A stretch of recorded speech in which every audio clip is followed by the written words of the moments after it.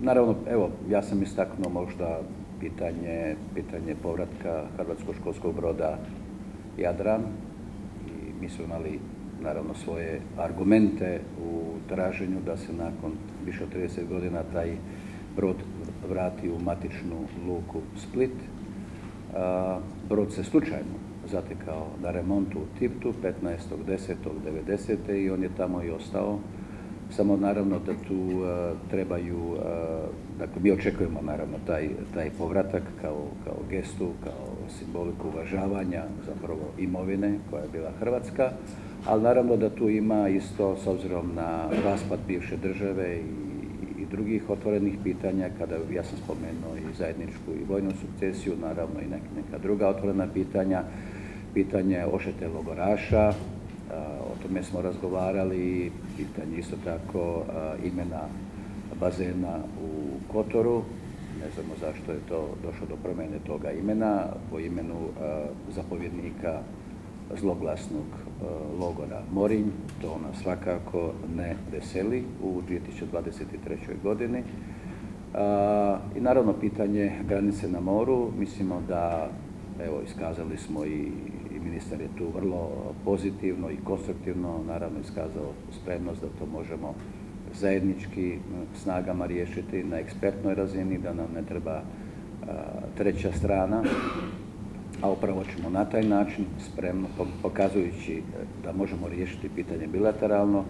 možemo pokazati naravno i svijetu da imamo dovoljno kapaciteta kako bismo naša otvorena pitanja riješili. I pitanje naravno možda Hrvatskog doma Donja Lastva,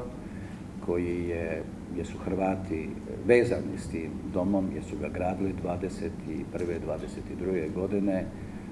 to je zapravo su skromne prostorije, ali oni imaju snažnu simboliku jer su upravo ugrađeni, ugrađen je duh i život Hrvata Boke, odnosno Donje Lastve i mi bismo cijenili jako kada bi vlasti Crne Gore, kako lokalne, kako na državnoj razini, mi smo o tome razgovarali i sa prehodnicima i predsjednik vlade razgovarao sa predsjednikom Jakovom Milatovićem nedavno o tome, kada bi Crna Gora dala taj dom Hrvatskom nacionalnom vijeću na trajno korištenje.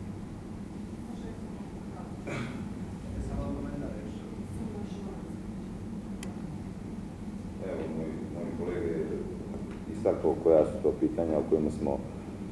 razgovarali u dosta aspekata svih ovih pitanja smo se i usaglasili za neke smo konstatovali, odnosno ja sam konstatovao da su njegovi argumenti dobri, ali da su i naši argumenti dobri. U svakom slučaju ono što zaokružuje priču o tim pitanjima jeste da mi želimo da ih rešavamo kao što sam ja istakao u izjavi, kao što je i ministar istakao u izjavi, da ih rešavamo kroz direktnu prijateljsku komunikaciju na bilateralnom nivou, koja naravno može biti i na političkom nivou, ali može biti i na nivou ekspertsko tehničkom kroz e, komisije, tako da mi zaista želimo da ostanemo posvećeni tome da sa Republikom Hrvatskom e, razgovaramo i da e, pokušamo na obostrano zadovoljavajući način da dođemo do rješenja svih ovih pitanja koje smo i dotakli danas. Zahvaljujem ministrima na